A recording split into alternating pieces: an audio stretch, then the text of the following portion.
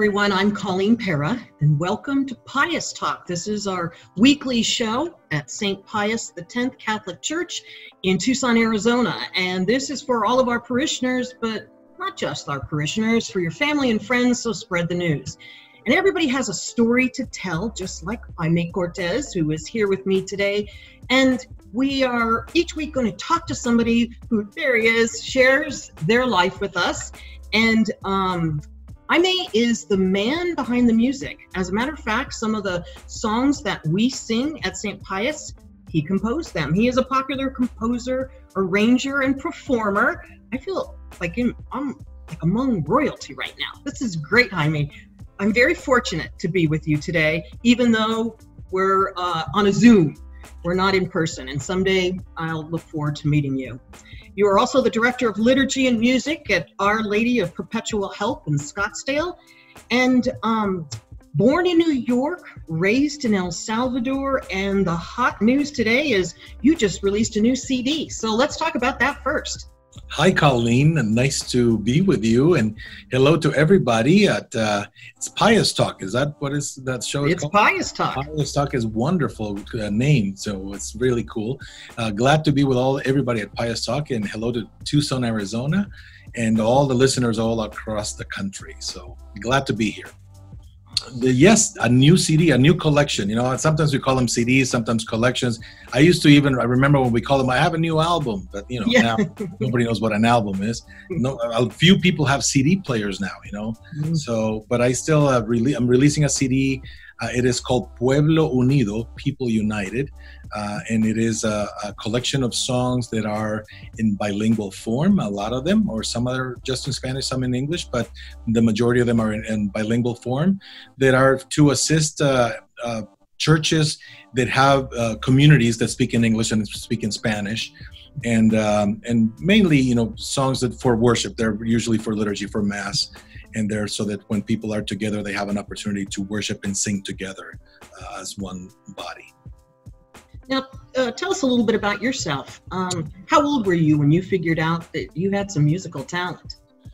You know, as as far as I can remember, you know, I, I, I know that my my parents talk about, and my mom has told me stories about when I was like an infant standing in in the crib uh, whenever she would play music and the music would stop, in those days it was records, you know, so when the record would stop, uh, I would get upset, you know, and that sort of thing.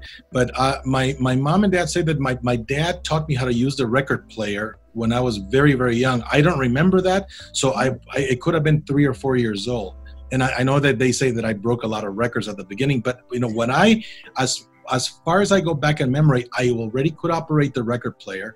This was in the mid 60s, you know, so uh, the mm-hmm. Beatles had just arrived in New York. You know, we I was in New York with my parents, so Flushing Meadow Park and Shea Stadium is literally like a five minute drive where, where you know so when the beatles came to shea stadium you know we were in that middle of that fever and everything and although i was really little but my parents you know were really into it and all that so so that that um I, I remember operating records and playing Beatle records, and I, I, can still see myself going through the records. You know, Elvis and the Army, um, and also in the '60s, you mixed a lot of things. So that we also had Herb Alpert, and we had mm-hmm. Frank Sinatra. I remember there's a Capitol record uh, from Frank Sinatra called "This Is Sinatra" that was just beautiful. It had wonderful stuff. Uh, Nat King Cole, um, um, Mantovani, you know, which was instrumental music. So I, I, I remember Eydie Gormé Los, in Los Panchos, which is a really famous album now, mm-hmm. and one of the most successful albums ever to sell in the United States. We had that album, you know, and so I remember that too. So it was a mix of things, but I remember playing all those and and standing in front of the record player and staring at it. It wasn't like I played records and went to play. I was in front of the album, looking at the notes or the pictures and listening, and um, so I can I can remember learning how to sing harmony parts when I was very little, 5 mm-hmm. six years old. Uh, and then at seven, I received my first guitar. I, I, do remember having pictures in my seventh birthday with my first guitar. Yeah, so. Mm. And how many instruments can you play? Well, you know, I, I play a lot of string instruments, so I mm-hmm. know how to play. My main instrument is guitar, so I, I've studied guitar, and I, I play guitar. But I, you know, but um, for example, I can play bass guitar, I can play charango, I can play vihuela, I can play banjo a little bit, a little bit of mandolin. Uh, so you know, a, a, lot of the string instruments, and they're a little bit slightly different. I play them all. Now I can play piano, of course. Uh, so those are basically the most, the main ones that I play. Okay. Now, tell me a little bit about your walk with Christ and how your musical talent played a role in all of that. Uh, um, I remember, well, the, uh, when I when I started uh, when I was in fourth grade, there was auditions for what the, in in in El I was in El Salvador by then. We had already moved back to El Salvador. We grew up in. I was born in New York City. My parents were working there. My mom was working in the United Nations. But at a certain point, uh, we, they you know they moved back to El Salvador, and I was about six or seven and I have, I have a brother that also was five or four or five. And we moved back, and so I started going to elementary school in El Salvador. And so there, in fourth grade, they had auditions for what they called the soloists. What that meant really was people who had enough talent to carry a tune and to be set aside in the masses and the school masses. This was in a Catholic school. Uh, to be the, the school choir, really. You know, that's what I was. So I auditioned and made it easily into the school choir. Mm-hmm. I remember singing harmonies in those too and um, uh, did a lot of music singing for my entire life of the school there. You know, the, my school really had the elementary and the junior high and the high school all in one building. So all the way up to 12th grade, I, I played music.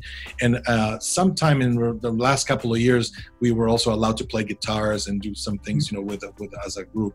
And I played in those too. And from there, I, when I moved to college, and there was a long story how I ended up in Arizona, but let's skip that for now and say, when I went to Arizona for my first year of college, somebody took me to the All Saints Saints Catholic Newman Center. Oh. And I went there and wow, you know, all the students are playing guitars and basses and pianos and they're singing. And I felt very attracted to that. So I asked, how can I get into one of the groups? And they said, well, you know, we have to do this and that. We need a bass player. And I said, I can play bass. And I went, ran over and we got a bass guitar from the store and uh, in. Tempe. And then I started playing bass guitar. And so that's kind of, that kind of introduced me into the playing into a music group here in, in the United States. Little by little, I started going, hmm, who does the choosing of this music? What's a holy holy? How does that come into it? Who you know organizes this? So I started inquiring a lot, and there was a couple of really great mentors. You know, mentors people who who said, "Oh, you you need to if you're interested, go to this class or take this." You know, they uh, they recommended me to go to a, a, conference that is called the National Association of Pastoral Musicians. We, mm-hmm. For short, we call it NPM. It's still alive now, mm-hmm. that organization. And they told me to go to to the the conferences for that every year. Great education to see all these people, thousands of people that also were part of the church, life of the church as music ministers. And I was like, wow, you know, I didn't I didn't know that there were so many people. So I, I started that walk there, you know, and then from there studying, studying, starting to study, inquiring with other people who were, like I said, you know, wonderful mentors. You know, Phoenix had a hotbed of great thinkers and musicians at the time. Mm-hmm. You know, when you think of people who came out of here, you know, Tom Booth is from here. Um, uh, Paul Hillebrand is from here. Tim and Julie Smith are, are from here. Matt Maher. Uh, there was also Gary Daigle was here. Rory Cooney is from here. Mark Millis. I mean, there there is a list of people who are super talented that were ended up being composers for the church. They all were here in Phoenix at that time. So I had wonderful, you know, teachers and people who were ahead of me who showed me the way. So. You know, I was going to give you a hard time about you know being a sun devil because I'm a wildcat. Uh, but you know what? Tempe did you well, so I'm not going to yeah. say anything. I'm just going to yeah. thank them. Yeah, yeah, that's right. and the U of A should have given you a bigger scholarship. That's, that's all I can right. say. should have. yeah so but that's how I started you know from there i went i yeah. think i can you know I, I came to study engineering and i really oh. quickly found that my vocation what i really felt passion for was music so i switched to music mm. and started studying music and at the same time thinking you know i think i could probably lead a group and a lead a church you know in music and so i started thinking of the possibility of being a music minister very early and i gave a call to the office of worship in downtown phoenix and said hey you know i'm going to graduate from school really soon and mm-hmm. maybe they, you can give me a position and they were like yeah right well you know that's not yeah. easy so i hung up the phone thinking okay well that's not going to happen but literally two or three weeks later, they called and said, "There's a new parish in Chandler, Arizona. The, there's a music director in there, but her her husband is just got transferred to San Diego, and they're going to move. Can you cover and take pick that up?" And I said, "Sure, I'm not doing anything." And they were just starting. They they still were in a little building. You know, they were not in their own big building. They were in some office building starting, and uh, and so I started from scratch with them almost. You know, and just started playing music with them. And from there, I moved into a full time position at a parish in East Mesa at St. Bridget, and uh, I did 19 years there, so a lot of formation there. And then I did 12 years at Holy Cross Church, and now I'm here in an OLPH in Scottsdale. Oh gosh. Okay, we want to hear some music here. And oh. Rain Down is one of those songs that we sing at St. Pius. It's so beautiful. And I think at a time like now, we're in a pandemic, and maybe people need to hear hear that again because we haven't uh, heard it in in church for a while together in person. sad, right? I happen to have a guitar here that I was oh. bringing. Not that any of this was planned, right, right. Amy? uh, we'll we'll edit that out. Uh, you know, uh, I um, was changing the guitars, the strings of this guitar, so it's probably a little.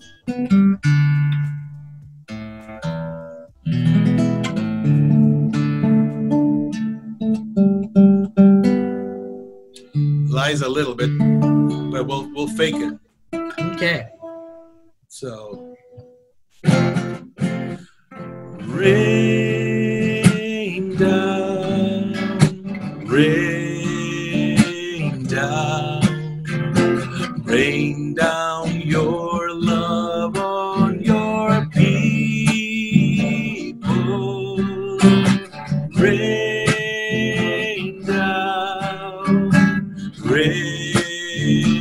God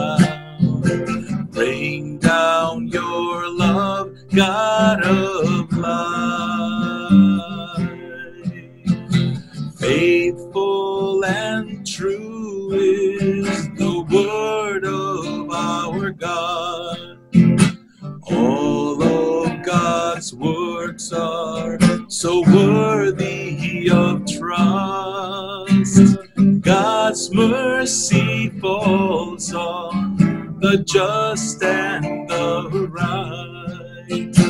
Full of God's love is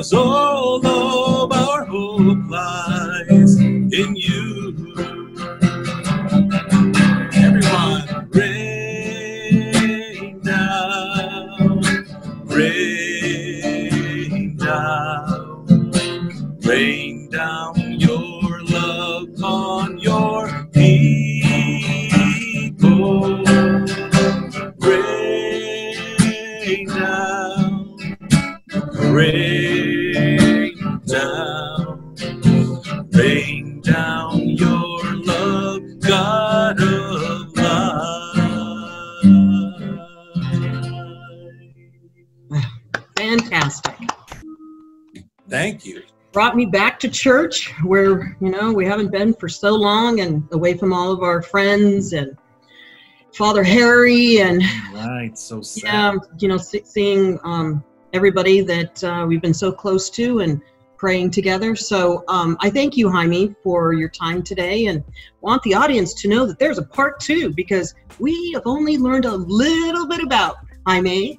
And so um, we'll be back next week uh, with that interview and more music. So, folks, just uh, don't forget to tune in Uh, we're here with Pius Talk, and uh, my co host will be uh, Dave Bellamy. Some of you know him, he's a parishioner at St. Pius. We're going to rotate some of our weeks, and so I'll see you next week. Jaime Cortez and Colleen Perra back Colleen, next week. Thank, Thank you. you. Bye, everybody. Bless you.